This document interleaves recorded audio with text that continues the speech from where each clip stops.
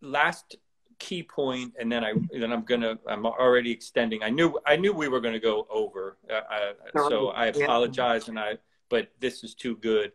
Is is the idea of also those moments though where struggle and or good by the way happens in the middle of the chaos right in the middle of the the game and you you said like you have these moments where you're like no this is cool. Like i'm observing this moment. And even if it's a challenge you're almost like okay this is a challenge. But that's what this is supposed to be. And all that can happen within seconds if mm-hmm. you've begun to train yourself to to think and see. Is that fair also? Because you pointed that out before. Yeah and i think it's really important to um, mention that we're not disavowing emotion. Um, mindfulness or like getting to this state of being able to move on doesn't mean we are devoid of, of motion.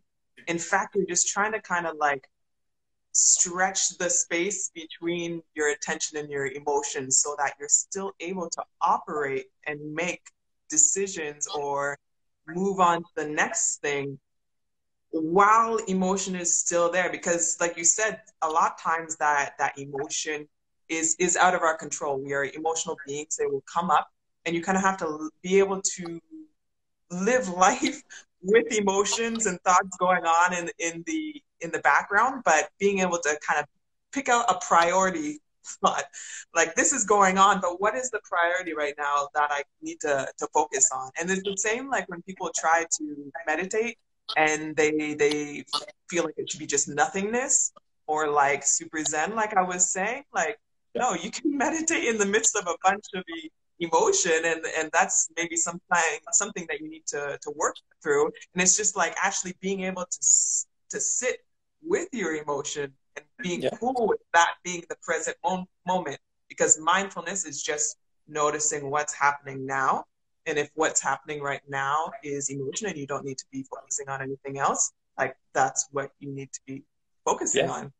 Yeah, yeah. The uh, become the observer, right? We're just mm-hmm. observing, um, yeah. but with that observation comes, like you said, that little bit of space where we can mm-hmm. say, "Hey, do I want to just kind of ride with this?"